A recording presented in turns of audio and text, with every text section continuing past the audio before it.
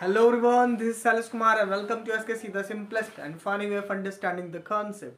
आज के स्टूडियो में हम लोग पार्ट 44 करने वाले हैं जिसमें मैं nth term from the end वाला का एक एग्जांपल कराने वाला ठीक है? और ये एनसीईआरटी 5.2 का क्वेश्चन नंबर सेवन नहीं सेवनटीन होगा ठीक है? एक सेकंड हाँ जी बिल्कुल सेवनटीन है। देखिए सेवन क्या बोला है? फाइंड द ट्वेंटी टर्म बीस term twenty twenty term from the last term of the AP ये एपी दिया इसके लास्ट बीस पता करना है। शुरू से बीस टर्म नहीं ट्वेंटी टर्म है। फ्रॉम इंड टूवर्ड्स इंड पता करने में अब कुछ नहीं करने का। तो हम लोग तो फॉर्मूला तो जानते हैं। क्या जानते हैं formula L minus N minus one D समझे जी? अब ध्यान से देखिए। एल मेरे को यहाँ कहीं ना कहीं दिया होगा।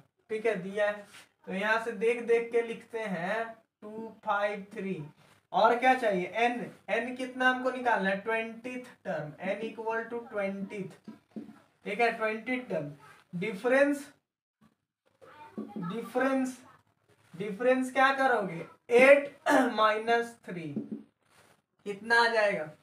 फाइव डिफरेंस ठीक है? अब फॉर्मूला लगा देना है सीधा। और आंसर ले आना है। ज़्यादा टेंशन नहीं लेना है। कहीं का आपका बिया नहीं हुआ है। दस क्वेश्चन कहाँ से लाओगे। चलो देखो। अब आपको क्या निकालना है? एनथ टर्म ठीक है? तो कितना, कौन सा आपको निकालना है? ट्वेंटी टर्म फ्रॉम इंड या फिर फ्रॉम द लास्ट टर्म ये भी लिख सकते हैं आप। आपकी इच्छा है। आपकी मन, आपकी कॉपी क्या? L minus N minus one D ठीक है? अभी जो मैंने लिखा था, उसी को छापा है मैंने। अब ध्यान से देखिए एल कितना है? टू फिफ्टी थ्री एन कितना है? ट्वेंटी निकालना है ना ट्वेंटी तो एन का जगह ट्वेंटी माइनस वन मतलब डायरेक्ट आप नाइन्टी लिख सकते हो नाइन्टी डी ठीक है? जैसे पहले लिखते थे, लेकिन चलो भाई डायरेक्ट भी आप लिख सकते हो। ठीक है? तो कितना आ जाएगा? टू फिफ्टी थ्री सॉल्व करोगे यहाँ कितना आएगा? नाइनटीन डी आप इसको डायरेक्ट भी लिख सकते हो। ट्वेंटी निकालना है तो ए प्लस क्या बोल रहे तो ए प्लस तो ट्वेंटी बोला है तो नाइनटीन डी डायरेक्ट लिख सकते हो। वही अगर दिस फिफ्टींथ बोलता तो A plus A minus fifteenth बोलता तो एक घटा के क्या लिखते फोर्टीन डी समझ रहे हो? तो पहले आप करते आए हो, कोई नया बात नहीं है।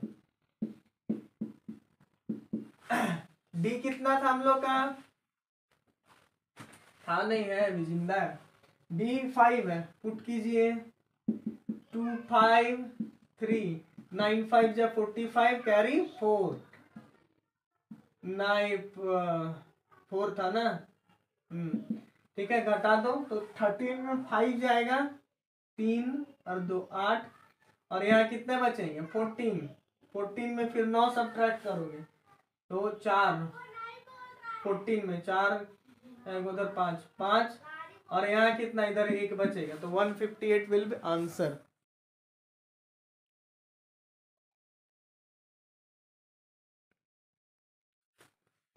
और आप इसी के जैसा एक और क्वेश्चन करना चाहते हैं तो पार्ट फोर्टी फाइव जाके देखें। सेम क्वेश्चन है एनसीईआरटी का ही है। Concept will hundred by hundred हो जाएगा, देखिएगा तो। समझे? नहीं देखिएगा तो हम क्या कर लेंगे?